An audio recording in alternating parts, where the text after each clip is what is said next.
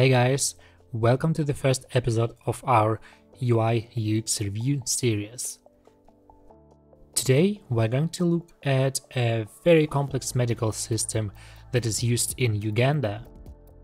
It has an enormous number of pages, forms and user cases.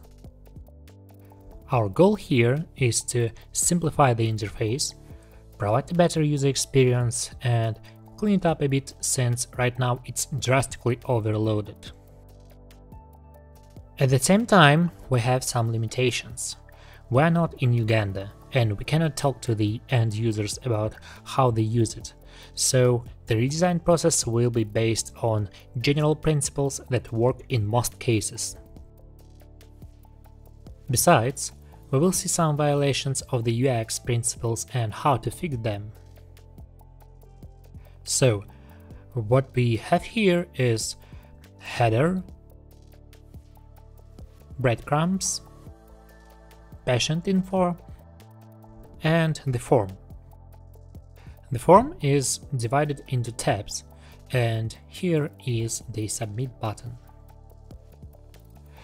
Before we get to redesign, let me show you a couple of design laws that will be handy. First is the proximity law. Objects that are near or approximate to each other tend to be grouped. Here we can see a group of squares. And now you can easily distinguish two groups. This simple thing is crucial in interfaces.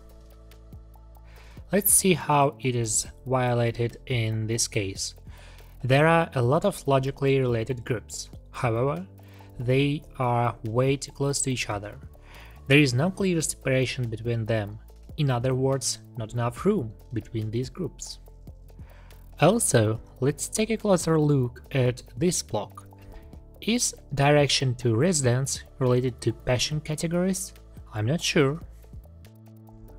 Or is the relationship to the client related to the EID care that's what the proximity law is about. The next thing is how to control user attention. Let's get back to our squares. How can we direct user attention to one of them? Simply by changing color, size, shape, or distance. Let's return to our system. So the problem is that there is nothing to focus on. All elements are different. What makes the situation worse is that some of them have different colors. To sum up, there is no consistency, the proximity principle is violated, it is hard to focus on something, and the interface is overloaded. Now, let's dive into the redesign process. I will start with a clean page and break it down into a few big groups. The header, breadcrumbs, patient info, and the form. We might change it later. So let's begin with the header. What problems do we have here? First, I'm not sure if it should be black since black takes some attention and looks heavy, so I will keep it white for now. Here we have three links, account, clinic, and logout. However, the account dropdown consists only of one link. We can hide the logout link under the dropdown since it's not the most common thing the user will do.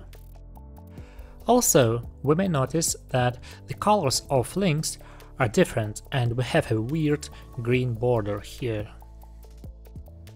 So what I would do is I would have two links with the same color, remove the green border, remove the clinic icon since I'm not sure if it's relevant, change the account icon just because this one is widely used and looks a bit dull. Now, in the logo section we have an obvious problem with paddings. Let's increase them and move everything a little bit closer together. Now let's work on the breadcrumbs a bit. Let's remove the white line since it's barely noticeable but still makes some noise. and make the typography more consistent. For now, I'll keep all the colors as shades of grey, later on we can change it. The Patient section. For now, I will skip it and display the patient name only, because I'm not sure if the layout will be the same. And finally, let's get to the most intriguing part, the form. Let's take a look at the number of fields we have in four tabs. Events. Where to begin? Let's start with the Submit button.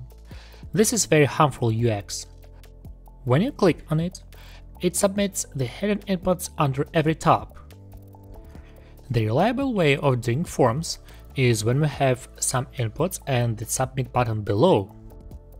But let's admit, we cannot put all the form inputs in one place. Even if we had navigation, the form would take several screens. Besides, we have such functionality as adding new rows. It's a very fragile technique to send such a big amount of information at once. So we have to break the form into multiple forms. And it might work even without making significant changes on the server side. We will submit a part of the information at once. Let's make a quick wireframe. You see, our layout has changed a bit. So we have four forms, right? Yes, but each form also has some subgroups, subforms, and they are complex too, so eventually we will have way too many forms. And that's alright, they serve different goals. Here what I came up with. This is way much cleaner in terms of information architecture. You can see exactly what forms do you have, and you give users only some part of inputs to fill at once. No scary forms. Now let's get to the inputs. First, let's see what's wrong here. Some of the labels have semicolons, some don't. Hanging labels, inconsistent spacing, violation of the proximity law, alignment issues. Multi-column forms are generally considered a bad practice. So we're going to make it simple Remove semicolons as they are just a visual noise. Remove hanging labels since we don't know what they mean, the developer might add them later to our new design. Have consistent spacing between inputs and their labels, put everything under one column, put the submit button at the end. And here what we have now. Looks much cleaner. But we can improve something. Right now, we have a few cards that get the same amount of focus. A simple trick to shift the focus to the form is to de-emphasize other blocks. So let's remove the card from navigation to make the form stand out a little bit more. We have another problem, white space. Even though the form becomes easier to use, we can improve it further and try the next thing. We can make a column having the description of each group. We don't know yet if it will work, however, this is how we design, by iterations. Now let's separate the cut header and move the headline from the patient name to where it belongs to. Now let's get back to the patient section. The problem is that the horizontal layout is not the best choice when you need to display some profile information. Usually, you end up with some empty space.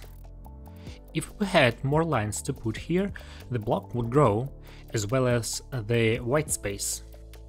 So I thought that we have quite a lot of space for the form and the subheaders occupy too much space. How about moving the subheaders so that they are in one column with the inputs and move the patient info at the third column when filling a large form, the user will always see the patient info. I assume that the profile will have fixed positioning, which means that it will always be on the screen, same as navigation. We can put as much information as we need here. Notice that I de-emphasized labels. The avatar helps identifying patient's gender, Later on, we can place the photo of the patient instead. The Edit and Save Notes buttons are secondary, so I made them outlined. In the future, the right sidebar can have more cards, for example, the allergies that the patient has. Another advantage of this approach is that we have enough space for our data in most cases. If the name doesn't fit, we can always put three dots at the end. When you hover on it, you will see the full name, while such fields as address can be multi-line.